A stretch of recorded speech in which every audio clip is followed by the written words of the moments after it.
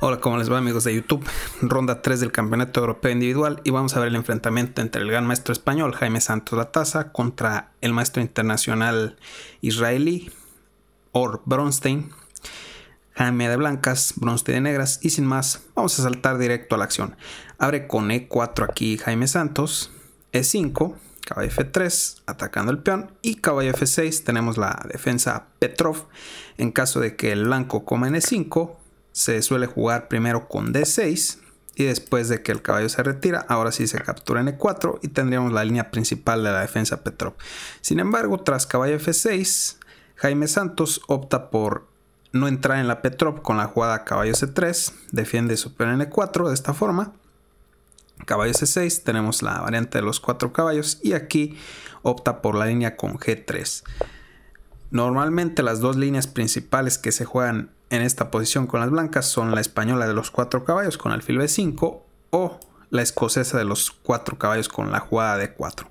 Pero bueno, en la partida tenemos la jugada G3 que también es interesante para sacar un poco ahí a su rival de las líneas teóricas más conocidas. Alfil C5 que ya evita la ruptura de 4 del blanco. Alfil G2 y D6. D3 a5 para ganar espacio por ahí en el flanco de dama. En caso de un caballo A4 pues este alfil ya se puede escudar en A7 y evitar el cambio de caballo por alfil. H3 y H6 ambos enrocan. Y ahora rey H2 alfil E6 ya desarrolla su última pieza el negro. Y alfil E3 de Jaime Santos que busca el cambio de alfiles. Aquí opta por la jugada A4 Bronstein la verdad que realmente había que comer en E3 y tras F por E3 luchar contra la debilitada estructura de peones que tiene el blanco. Pero bueno, aquí opta por la jugada A4 y Jaime avanza en el centro con D4. Cuidado que se amenaza D5 metiendo un doble por aquí, así que hay que comer, no hay otra opción. Caballo por se produce los cambios en el centro. Dama por D4 y ahora la jugada dama B8. Torre F1 y torre A5. Aquí opta por la, el avance F4 ya Jaime Santos ganando mucho espacio en el flanco de rey. B5 y la idea es jugar con B4 para echar el caballo de C3.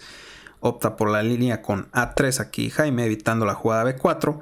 C5 echa la dama. La dama se retira de 2 mirando con rayos X a la torre en A5. B4 y el caballo se retira de 1. Todavía no se puede comer en A3 porque estaría cayendo la torre en A5, así que el negro intenta H5, Jaime reactiva su caballo con la jugada caballo E3 y torre A6, ya se sale de los rayos X que ejercía la dama por ahí sobre la torre y quizás en algunas líneas ya pueda comer en A3. Torre D1, presionando por aquí sobre el peón retrasado en D6, torre 8, F5 ataca al alfil, ese alfil se retira de 7 y ahora hay la amenaza de comer con el caballo en E4, así que Jaime Santos aparta su caballo a C4 al mismo tiempo que defiende el peón en E4 y está atacando sobre el peón en D6. Opta por D5 aquí el negro para romper la estructura, en caso de E por D pues va a comer en F5. Come en D5 Jaime, torre por E1 se produce el cambio de torres y alfil por F5 caballo E5. Ahora está mirando la casilla en C6. Aquí opta por la línea con H4 Bronstein. Vemos que esta diagonal pues puede ser bastante peligrosa, ¿no? Si se abre por aquí. Ahora el caballo estaría clavado. Así que Jaime juega rey G1, una excelente jugada. Se sale de la presión que ejercía la dama a través de la diagonal. Y ahora el negro no puede comer en G3. Aquí H por G3 sería un error porque permite al blanco jugar con caballo C6. Se ataca a la dama y no hay forma en que la dama al retirarse pueda evitar la pérdida de material con la jugada caballo E7 jaque, que es un doble sobre el rey y el alfil en F5, ¿no? Por ejemplo, después de algo como dama de 6, pues viene caballo E7 y a la siguiente ganamos el alfil en F5. Bueno, pues aquí tras la jugada rey G1, no jugó H por G3, Bronstein jugó caballo E4 que permite al blanco una ventaja decisiva. Tras rey g1 había que jugar con alfil g6, Por ejemplo, aquí el blanco podría jugar algo como dama F4, amenazando caballo por G6, ganando material. Por ejemplo, voy a jugar cualquier cosa nada más para ilustrar la amenaza. Por ejemplo, H por G3, pues ya permite caballo por G6. La dama en B8 está colgando y contra dama por F4 existe caballo por, sacas el caballo del ataque y logras pieza de más. Lo que sí que se puede hacer tras dama F4 es jugar con torre B6. Ahora la dama en B8 ya está defendida y contra caballo por sí que se puede recapturar, ¿no? Aquí se produciría el cambio de damas, torre por y G por H4 será una posición con peón de más para el blanco, pero el negro tiene serias posibilidades de hacer tablas gracias a la reducida cantidad de material restante en el tablero. Bueno, pues en la partida fue caballo E4, no jugó alfil G6, jugó caballo E4, aquí dama F4, Buena jugada de Jaime Santos, centraliza la dama, ataca el alfil, ataca el caballo y ataca el peón en H4. Intenta caballo por G3 aquí el negro para defender su alfil en F5, dama por H4, ahora sí que se amenaza a comer en G3, B por A3, ahora se amenaza a comer en B2 y cuidado que ese peón es muy peligroso, ¿no? Los dos peones pasados serían potentísimos, así que no hay tiempo de comer el caballo, por eso Jaime recaptura. Y F6. Ahora ataca ese caballo en E5.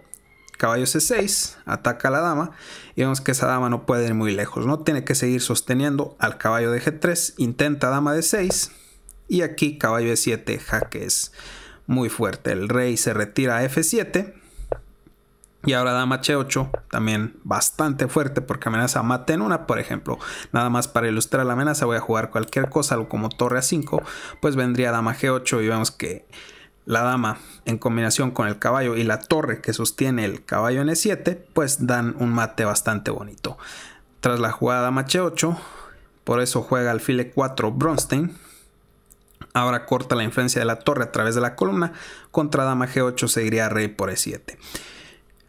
Tras alfil E4, Jaime come en E4.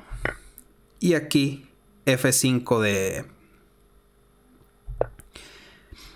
de Bronstein realmente al negro no le quedaba mucho por hacer, ¿no? Tras F5 ya se rinde porque, por ejemplo, si hubiera intentado otra cosa, no sé, como dama por E7, pues aquí sigue alfil G6 y estamos ganando la dama, vemos que es un ataque a la descubierta sobre la dama. De igual forma, tras alfil por E4 y en caso de que comas de rey en E7, pues seguiría alfil de 3 jaque y esto prácticamente va a terminar en mate. Rey de 7, jaque, rey C7, jaque, y si rey b6 tenemos dama b5, mate. Por eso tras alfil por e4 intento f5, pero aquí el blanco simplemente puede capturar alfil por f5 y va a terminar con pieza de más. Defiende su caballo en e7 contra caballo por, tiene caballo por. Y va a quedar en una posición completamente ganada, ¿no? Bueno, pues no se me vayan del video porque también vamos a ver cómo está la tabla de posiciones después de las tres primeras rondas que se han jugado en el torneo. Tenemos en primer lugar un empate entre 11 jugadores, entre ellos Taida Iván, Bajab Sanal, Stamatis, El Tash, Dimitrios Mastrovasilis, Denis Kadrich, Grerso Nasuta, Ruslan Ponomariov, Anton Korobov, Ido Gostein, Nicolosi Cacharava. Y ya los jugadores con dos y medio, que son bastantes, pues está Gabriel Sargisian, Adam Kozak, Iván Saric, Kirill Shevchenko, David Antón Guijarro también con dos y medio.